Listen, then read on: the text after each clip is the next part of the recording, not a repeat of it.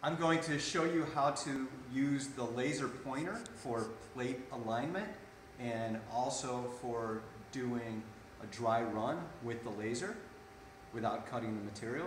So you can see here we have a PowerMax 65, a PowerMax 45 XP, and we have our laser pointer right there.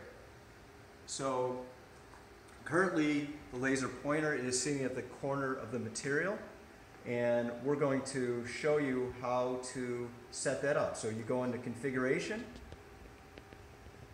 and then you're going to go into one of the fabrication heads. So you go to fabrication heads and you can see we have those three fabrication heads already configured.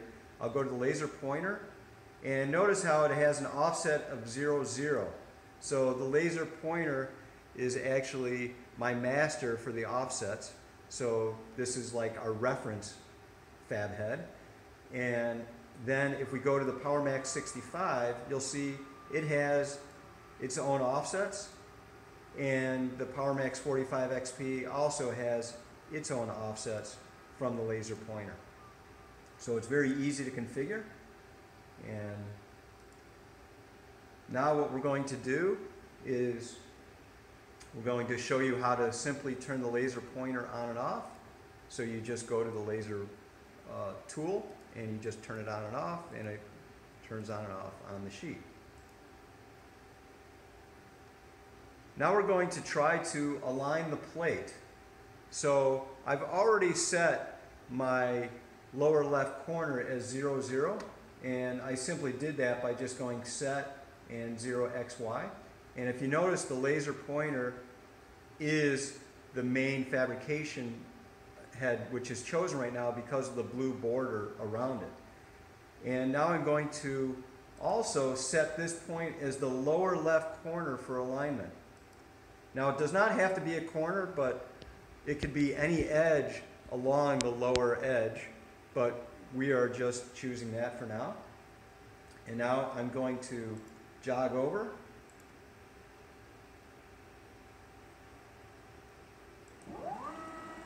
To another point.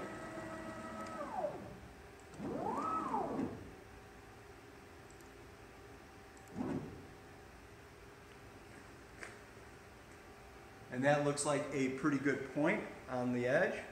So I'm going to go ahead and set this as my lower right. And now you can see the whole part rotated on the CNC screen to match which, what's on the machine. Now we're ready to try to cut the part. So before we do that though, let's use the laser pointer by locking the laser and that's by making sure that that is in lock mode and that will make sure that any of the other fab heads are not turned on during the dry run period. And you don't have to select dry run for this. All you need to do is select the laser lock. And then let's go ahead and hit play.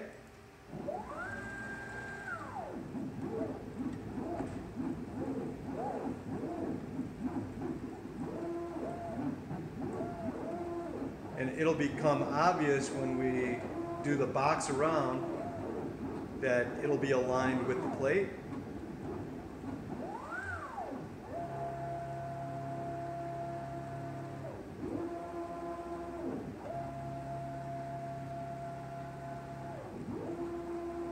And looks like it followed very well. So we're going to unlock the head.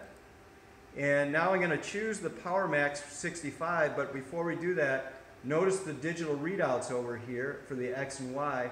These correspond to where the laser is, but when I choose the PowerMax, the X and Y changed according to the offset that we had in the configuration. So now let's go ahead and now that that's chosen and the laser is unlocked and we'll run the G-code again. Actually, before we do that, let's set the PowerMax 65 0. So it's going to go down and sense the plate. And that's the V axis. And we are all set.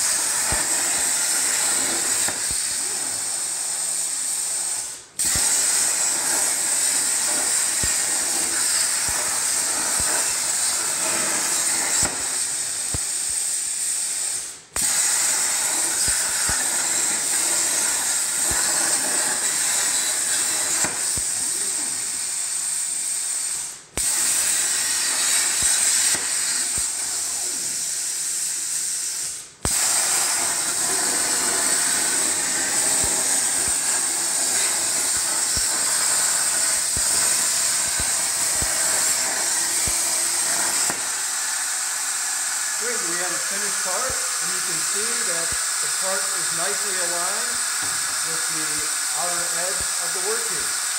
So the workpiece alignment works beautifully. Thank you.